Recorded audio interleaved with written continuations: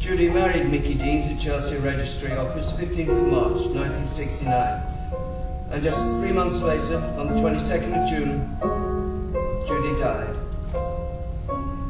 She'd taken an overdose of sedatives, seconal capsule barbiturates, ten times the dose.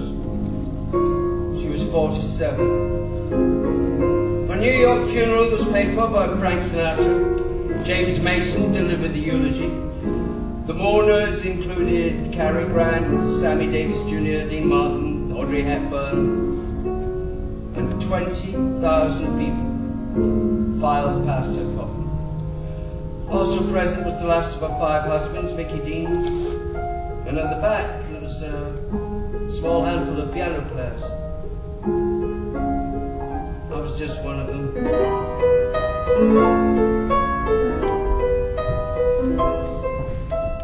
And finally, Judy, you've been singing on stage and film since you were a child, your entire life. Do you ever think there'll come a time when you'll stop singing? Well, you know, I don't sing for myself. I do it for other people.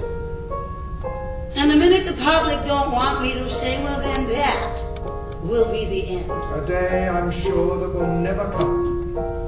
And for those unlucky enough not to see Judy Garland at the Talk of the Town, here's a couple of tracks from your wonderful recordings, each of them a classic, to ensure that you will live forever.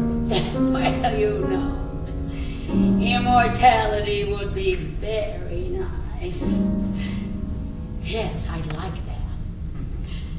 Immortality might just make up for everything. Someday I'll wish upon a star and wake up where the clouds are far